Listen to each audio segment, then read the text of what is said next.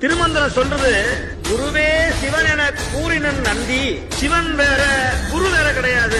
ஆனா அந்த குரு யாரு? அதுதான் இங்க கேள்வி. சரி குரு குருன்னு சொல்றீங்களா யார் யார் குருநாதர்? பெரிய கார்ல வந்து இறங்குறவன் குருநாதரா? தங்க நகையெல்லாம் போட்டு வர்றவன் குருநாதரா? ஒரு ரெண்டாயிரம் கோடிக்கு அதிபதியா இருக்கிறவன் குருநாதரா? இல்ல குருநாதன் யாரு தெரியுமா? அதை சொல்லுகிறார் நம்முடைய பற்றியத்து சுவாமிகள். பேய் போல் திரிந்து